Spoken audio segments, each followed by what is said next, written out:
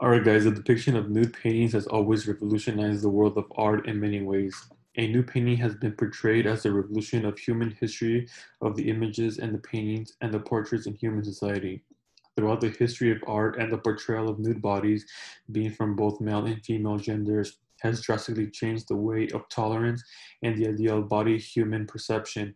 Many have wondered, wondered if it would be the appropriate fit or look for society if either, or if either would agree or disagree of the idea of dehumanization on the proposal of something different in the idea of showing nudity on a canvas. Over the peak of the century, the 19th century, two paintings have made its lasting impression on the topic of nudity on a canvas. On my left, we have La Grande Odalisque, um, made in 1814 by Jean Auguste Dominique Ingres. And on my right, we have Olympia, made in 1863 by Edward Manet both of the images portray nude body, uh, nude body, but both um, both images have a different meaning, and but they both revolutionize the, the nudity in art and human depiction. However, both of these images are very similar in both ways. They both show nudity in white females, which are being both both are laying down, and both paintings were made by male artists in the 19th century. At first, we take a glance at the title of the paintings and the names of, the, of, the, of them the name of the paintings always gives the audience a better understanding of what image of, of what the image is about and gives a bit of a brief background of the painting on the background Odalisque derives from Turkish descent, the root meaning harem concubine, with other terms meaning women who live with a man but has no part in the household of the man. Therefore, the possible translation of La Grande Odalisque would be the, com the comparison of the Grand Concubine, meaning that translates to realism, realism in images and paintings as a, as a as compared in the world Olympia, which was used in 1880, which was the deeper meaning of the gods.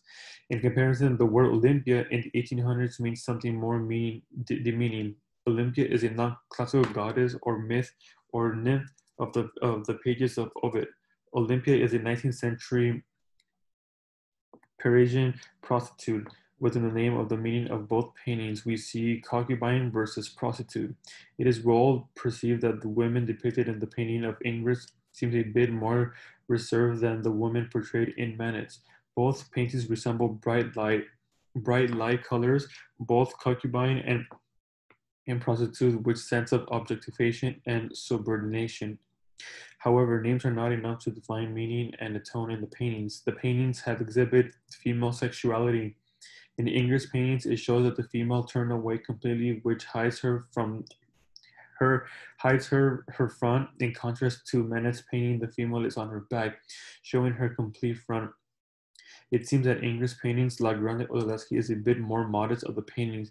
If you look, if you look a bit closer, you can see how the artist used in line, how uses line curve and structure to show the woman in the how she is less empowered. Also, in Ingres' painting, the female is halfway turned as she were ashamed of being nude or ashamed of posing as a life sex figure. In Manet's painting Olympia, the female looks very comfortable being drawn nude. She looks directly with a perfect gaze gesture. However, her confidence in her gestures seems her to be more comfortable and excited to pose for the painting. She does not lack fear and tempts the artist with glazed eyes, which gives her a complete dominance to the artist and the viewer as she implies female dominance.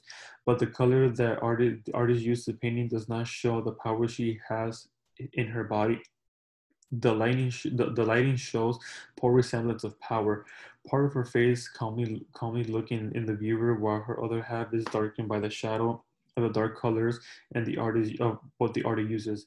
The uncertainty of dark colors gives a sense of uncertainty and a bit of mystery in the eyes of the female and the tone of the painting. As we continue with posture in the female, female's hands are another great feature that best illustrates her modest features. The hands can show emotion, configuration, and empowerment. In La Grande Odalisque, both arms are shown in a different angle on both sides. The left arm is supporting her side and the left hand is out of sight, while her right hand is being, being seen holding a blue, a blue curtain that is coming towards her.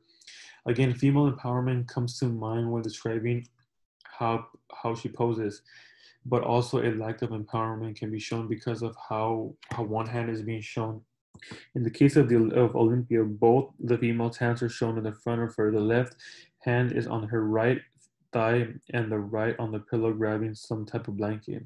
The missing hand in the painting, like Grande Odalisque, might imply that she once had she once had power, but she lost the empowerment she once had. Both females are not wearing any clothes, but they are wearing something on their wrist and hand in their head. The headwear objectifies a sense of human mortality because the head is the only thing that is being covered, but it also might simplify wealth due to their beauty. If so, the female is being objectified as an idol, preferably price-worthy and non-objective. The headpiece of the female in the painting La Grande Odalisque shows gold. It shows gold and bracelets made by what looks expen- like expensive material. A bit of what seems visible in her shows her wealth in her household, as if the house as if the house was being portrayed by not just men but women also. In the paintings of Olympia, it shows similarities but in different scenarios.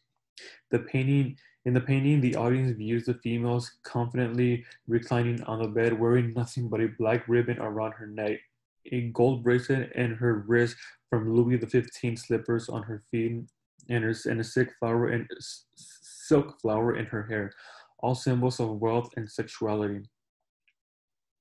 Another way that wealth is being sensed is a is a black cat, a Negro serving, bringing her a, a bouquet of flowers.